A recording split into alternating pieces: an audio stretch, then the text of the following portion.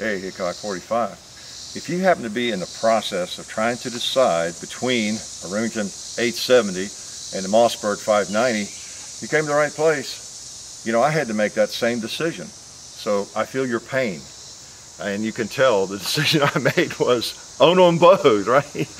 Well, we're going to shoot both of these and talk about the differences. And uh, we've got them both loaded with one of my favorites, heavy lead slugs. So let's go ahead and empty them and see how they do. Let's do the 590 first. This happens to be the Mossberg 590 A1. It is fully loaded, at least in the magazine, with one ounce Foster slugs. Safety's on. Let's put one in the tube, and take off the safety and shoot a couple of things, like a jug. wow, I got a little bit of a shower there. See if I can hit a two liter with it. How about that orange one? There's no sight on this much. All right, remember we're shooting slugs. For those who don't know, that is one solid projectile. Let's try the propane tank over there. oh, that rocked it, didn't it? See if we can hit a ram. I think it hit it. Let's move on up to Mr. Gong. Man. Try him again.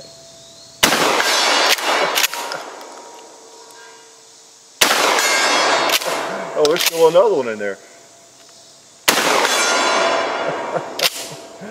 oh boy, nothing like throwing big one ounce slugs out there, I tell you. Okay, wow, that's the Mossberg 590 A1. Let's try the Remington. Oh, got a little water on it from some of that action, didn't it? All right, safety's on.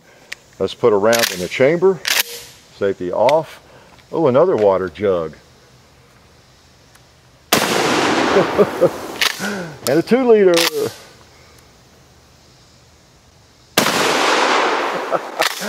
All right. Let's try the propane tank.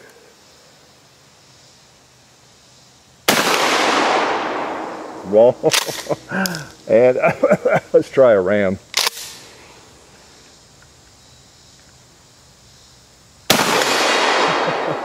well, you know where that takes us, up to the gong.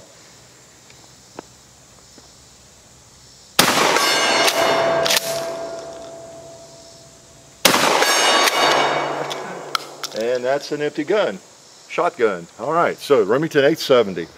Woo! Well, no misses, at least on the targets I shot at, right? Okay, so now, wow, look at the splashback. So we have the, again, the uh, Model 590 A1 Mossberg, and then we have the uh, Wilson Combat uh, Scattergun Tech, you know, modified uh, Remington 870. You know, it's got the, the peep sight on it and everything and you know the scattergun tech from Wilson Combat. It's, I think it's a Border Patrol model specifically.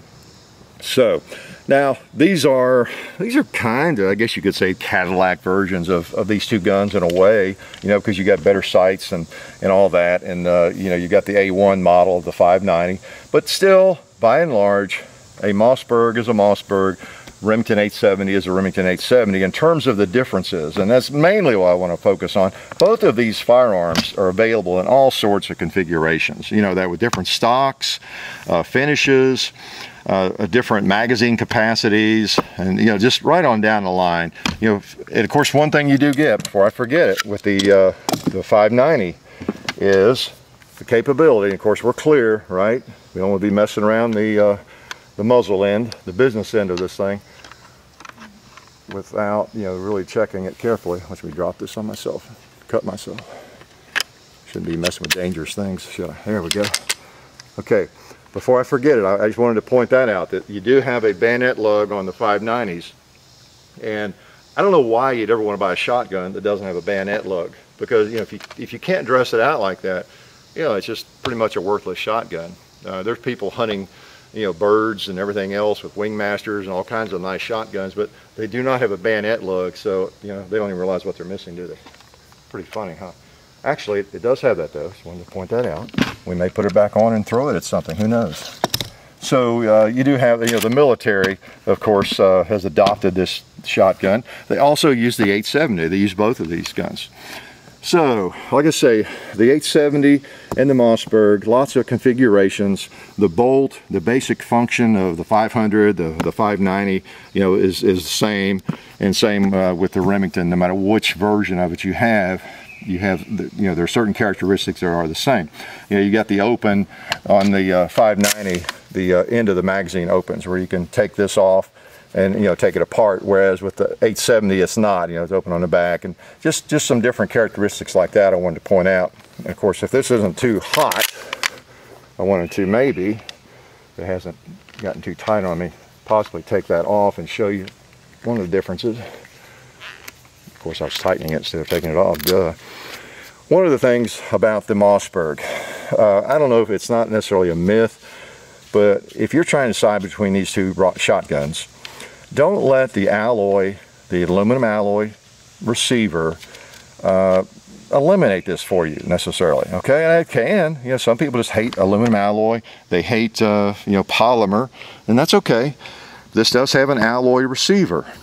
But one thing you might not be aware of, and you might, is that, let's see, I think I have to, yeah, pull the barrel out. I wanted to show you, the bolt locks up into this flange on the barrel and that opening.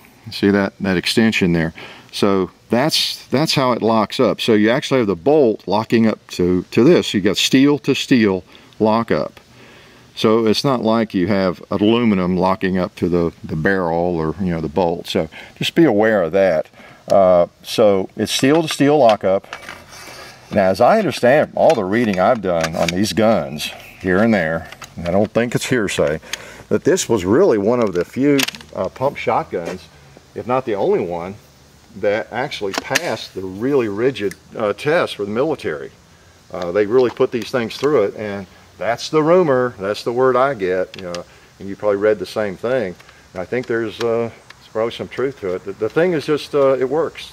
You know, the, the Mossberg does. So don't let the alloy, and that's a, one of the big differences. You know, the Remington 870 is uh, you know a steel receiver and uh, this one is aluminum alloy. But it, it, still works. It's not a problem.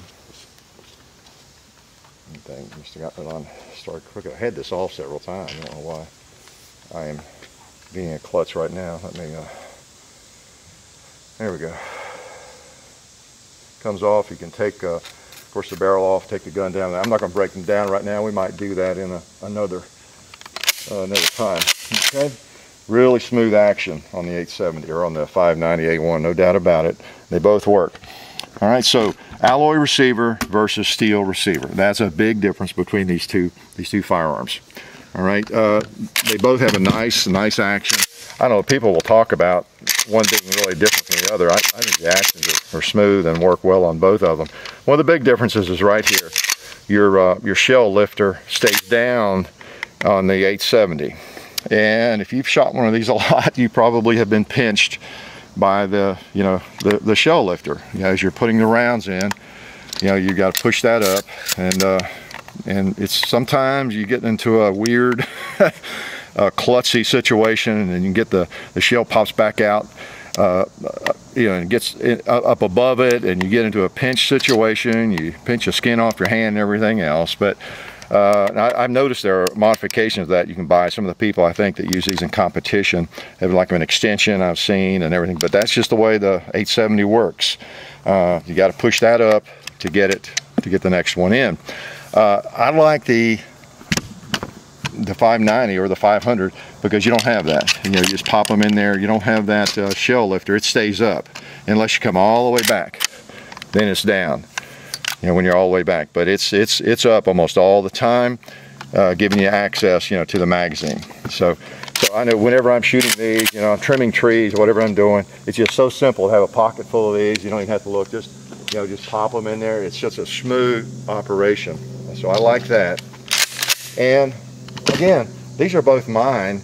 I like them both. So there are advantages, there are disadvantages maybe to either one. And uh, so uh, again, I was kidding around at the beginning, but I, I chose I chose them both. So I'm not going to bash either one. I like them both. Uh, the alloy doesn't bother me, like I said. Now, the controls, actually, that's one of the negatives for the uh, Remington, as far as I'm concerned, okay, if I'm looking for negatives. Now, the other thing is, you got a difference in the safety position. You know, you got your standard safety there on the trigger guard. This has an oversized one because it's a Wilson Combat, but it's right there. And it's pretty handy. And of course, your slide release is up there. Breaks the slide loose, all right? So that's your classic configuration. These, these things came out in, what, 1951. Been around a long time. Uh, one of the things I like a little bit better about the Mossberg is the fact that you got this slide brake right there. It just seems handier. You don't have to reach out there for it. In fact, you can have your finger on the trigger or in the trigger guard, you know, and you catch that with your, you know, your little middle finger there. It's, it's just really handy. Also the safety, you know, right there, your thumb. In fact, you can have your finger here ready to pull the trigger, have this finger, you know, on the slide release, and the thumb on the safety. I mean, you can have everything under control right there eh, that you need without moving your trigger finger. So that's pretty handy. I like that a little bit better. I really do. And of course, you that's naturally ambidextrous, right? So whether you're righty or a lefty, you know, it's right there on top, right in the middle. So a lot of people like like that particular uh, aspect of it a little bit better. Now again, uh, you, you notice you have better sights on this one because you just do. They're expensive and they're really nice. You know, you got a tritium and all that kind of thing. That's just because of this specific model. Uh, you know, you could you could put that on here. Some of the uh, the 500s or the 590s, you can you can put a rail, you can put a uh, uh, ghost ring sight on it. Uh, you can put the same, just about the same kind of outfit if you want to. Those are accessories that anybody can put on or have put on that don't necessarily get to the basic function of the of the shotgun. Let's take a couple of shots now. One of the things is how do they operate? Now you notice they both seem to shoot fine with slugs and seem to be, dare I say, accurate. Let's go ahead and load it up while I'm gabbing. But uh, safety on. Yeah, as, as uh, we've demonstrated before a few times, uh, plain old one ounce Foster slugs are more accurate than a lot of people realize. And, uh, you know, just messing around there. And I haven't shot either one of these uh, shotguns for a while. And I, will tell you, before the video, I thought, well, okay, let me, I'm going to shoot some slugs in this video. Let me take some shots and make sure I know where to hold. I took one with each one and hit the first thing I was shooting at. Uh, you know, these pretty much right on. And so I just took one shot with each one and decided, well, that's all I need to beat myself up with. And uh, they, they just shoot. They just shoot well. I don't think you're going to be picking off a prairie dog at 300 yards with a slug. But for a smooth bore, these are smooth bores, of course and a cylinder bore, I think, on both of them. So, you know, it's just a, it's remarkable how well just plain old slugs do shoot. Uh, so we shot some of that. Let's just shoot some uh, field loads. These are seven and a half, just federals, just to just to shoot. The other thing I want to compare a little bit is the, the, the slide. I don't do this side by side very much. So let's take a look at that, the slide action. So what I'm going to do is go ahead, I think I'll top top it off here. Safety on. I'm just going to, well, I'm just going to shoot and uh, work the slide. Pretend I need to shoot uh, kind of in a hurry. I don't know. We've got some pots and different things out here that need to be shot. So let's shoot some of it.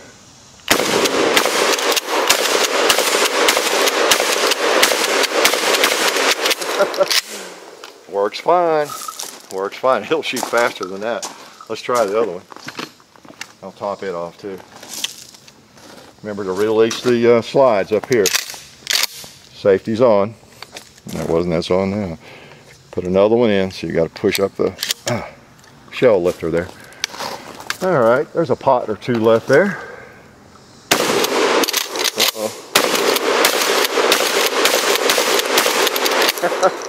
Short shucked it a little bit that one time, didn't I?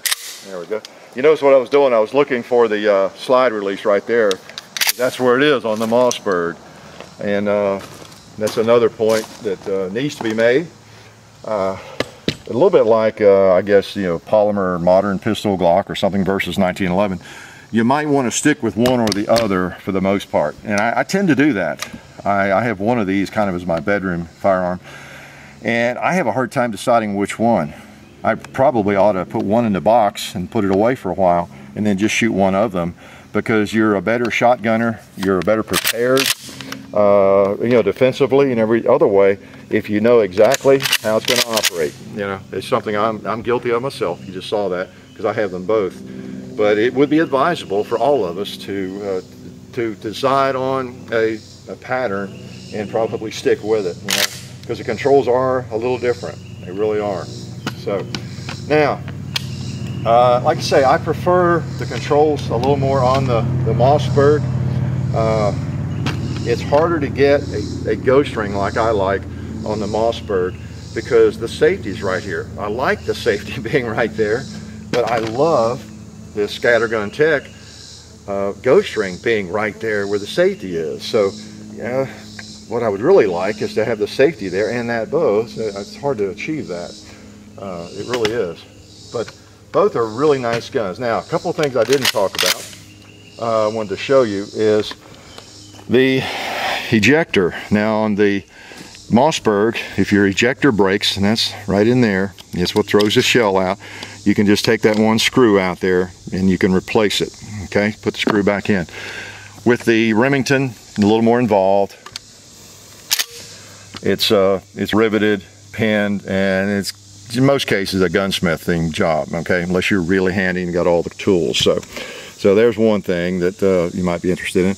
Also in the bolt, you'll see, uh, notice on the, uh, if you can see the, the end of the bolt, you've got two extractors. You got one on both sides on the Mossberg.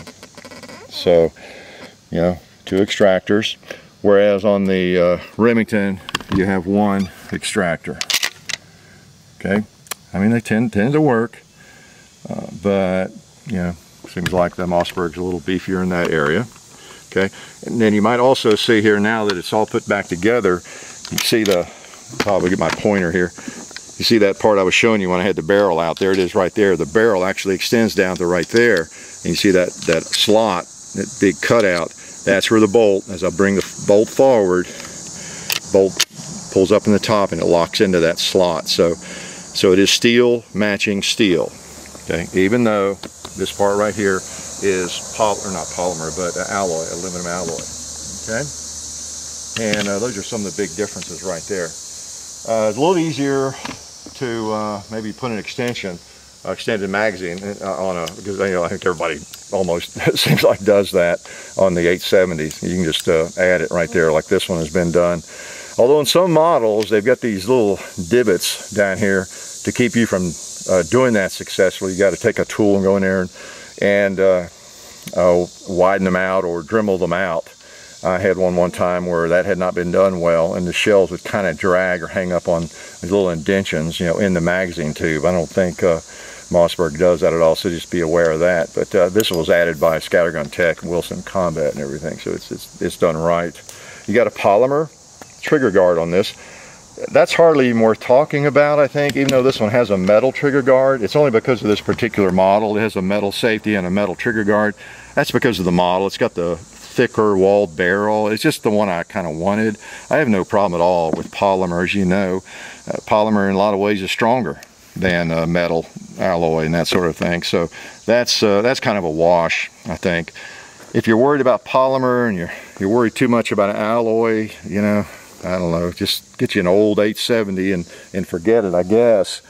But uh, if you're going to join the 21st century, uh, you need to probably, not to preach at you, but, but to kind of develop an attitude, different attitude about polymer and, uh, you know, and even alloy in some ways, because the stuff doesn't break. You know, it takes a lot to break it, a lot. And in, in a lot of cases, the polymer outlasts and, and does better than the, the metal, you know, so it's just amazing. I know on cars it's the same way. So the uh, now again, this is I'm, I'm not. Uh, I, I, realize the difference between this gun and maybe your Mossberg 500 or even your 590. There's just a di few different features. Same with the 870.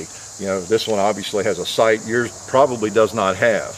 You know, it didn't go through the the Wilson Combat, uh, you know, scattergun tech process or anything. Still, it's a Remington 870. You got the Remington 870 bolt. You got the, the shell lifter. You got the safety and all uh, the the slide release. You got all the functions that are basically the same. And uh, that's just how they work, okay? If you're thinking about buying one of these two, two shotguns, that's kind of why I want to go over this mainly, is to, uh, I guess, maybe to help assure you that you're not going to really make a big mistake with either one. You know, I still am not sure which I like better. You know, I'm really, I kind of favor the Mossberg in some ways, but I sure love that sight right there. But now when I actually shoot the things, and we've, we've shown that in some videos, you know, I, I think I actually hit as well with this, with that little feeble nothing of a sight with slugs, as I do this thing here. Um, you know, the verdict is still out. Verdict is still out for me, basically. Just a little bit leaning towards this one right here. But because of what I've got on this one, uh, this one tends to be, you know, handier. Okay, tritium front sight, that ghost ring, beautiful thing. Uh, so I don't know. Let's shoot one of them a little bit more. You know what? My shoulder is not bruised enough, so I'm going to load up this Mossberg because it holds, I think, one extra round and take a few more shots. You know, I just, when I get a chance to shoot heavy lead, I do it. Oh, we have a, we have a melon here too. You know what? Before I do that, by the way, I don't know if you knew this, I'm not going to charge you any extra for this. If you if you didn't want to uh, empty your gun that way, you can uh, bring this back on, on either one of these. And let's see, yeah, you reach in there and it's on the left side, the little rod there. Push it and the shell will come come out. Okay, Remington's the same way. Let me show you that. In fact, well, let's see, let's put it in here. And let's say I want to empty it. You just reach in there. It's over on this side, and it jacks it back. I think it has to be there we go. It releases it and then you can get it out. And you can tell I haven't done it a while. And there you go, you got that Remington uh, configuration with the cases. Well, I know I've done that more successfully. Maybe the bolt has to be back. That's it. The bolt has to be all the way back. That's it. That's it. Duh. Okay. So if you got it all the way back, uh, the slide all the way back, all you have to do is reach in there and you can see press on that there you go. it's that simple. I just made it more difficult. All right. All right. So let's shoot the. Uh, let's load this baby up. But they'll both do that. You know what I'm gonna do? I'm gonna top it off. Safety on. Because you know the reason I took that out was so I could put this on there though. You know, I mean they just shoot better when you got the bayonet on. I mean, why have a bayonet if you're not to wear it? You know. I mean, is that a rig or what? Is that a beautiful thing? Is that a beautiful thing? I just wanted to put that on when the gun was empty, you know, just uh, again, be a little bit safer. All right. Now, ooh, that makes it a little heavier on the end. Now notice, oh, this thing is so simple to load. They just slide in there effortlessly. Not a problem. When you're in the middle of combat, you want to be topping it off, you know, as you move along. Okay. All right. Well, let's take a few more. Now, it may not be as accurate with the uh, uh, bayonet on it. We'll see. Okay, safety off. What is shootable here? I'm going to go back over there for a couple anyway.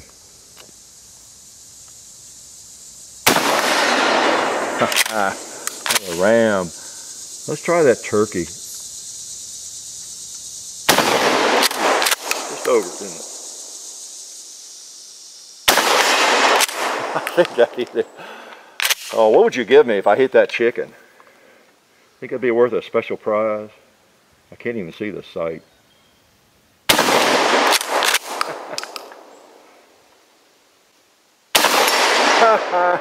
uh, you guys owe me. You owe me. Let me put one on the gong again. Put another one up there. And one on the propane tank. All right, we have one round left, and guess what I'm saving it for? You guessed, you guessed. We're going to attack right here, okay? Now if I get this all over me, uh, it's your all's fault. So here we go. Oh, this is a slug, isn't it? Oh, well, that's all right. We will do it safely. Okay, safety's off. Ah! oh, look at that. What a mess. What a mess. We're empty. oh, boy. Can't believe the things I do. For you folks, look, look at the juice I made there. uh, we'll put that in a glass and uh, mix it up with some ice and water here after a while. I hope we didn't get too much on the camera.